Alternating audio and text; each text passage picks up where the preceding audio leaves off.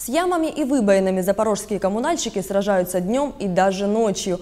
Поздним вечером средний ремонт городских магистралей проводят на самых проблемных и наиболее загруженных участках. В Элуаде говорят, такой метод помогает быстрее работать и не создает лишних проблем запорожцам.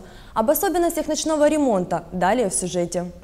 Работа у коммунальщиков в южном микрорайоне кипит даже ночью. Рабочие Луада спасают от ям разворотное кольцо на пересечении улиц Автозаводской и Новокузнецкой. Чтобы не создавать лишних проблем водителям, коммунальщики работают здесь только ночью. Днем участок открыт. За трое суток элуадовцы планируют залатать более 8 тысяч квадратных метров дороги. Этот объект является одним из наиболее важных транспортных узлов у нас в городе Запорожье. Здесь пересекается набережная магистраль вместе э, с улицей Новокузнецкой.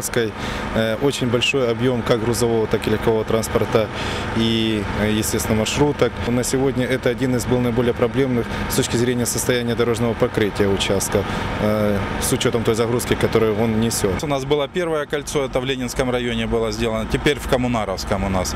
В планах у нас будет кольцо Дубовой рощи. Также у нас проводятся работы в ночное время в Заводском районе.